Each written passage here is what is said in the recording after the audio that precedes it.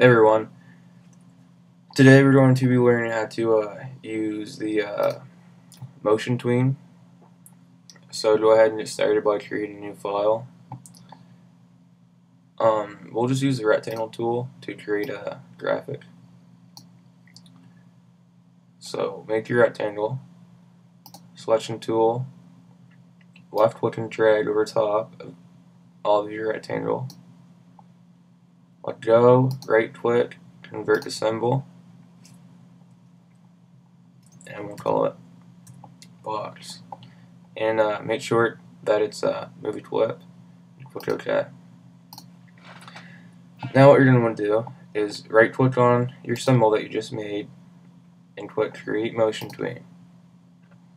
You'll notice that on the timeline it's putting frames for you so now what you want to do is at the very last frame, and right click, insert keyframe. You have options to position, scale, skew, or rotation. We'll just click position. Now what you can do is when you move the box, you'll notice that this line comes up with a bunch of dots on it. These dots represent where the box will move each frame.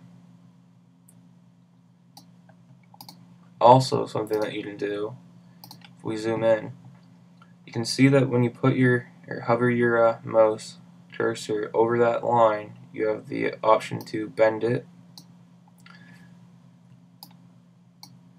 which uh, it just changes the uh, changes the guide for the box. So let's say that you want it to rotate too. Go to your free transform tool, hover over one of the edges and rotate it a bit. Now if you go back to the first and click enter, which will play your animation, you'll see that you have a motion tween. You can play around with this and um, and uh, you can play with the different options and stuff. Like scale and rotation.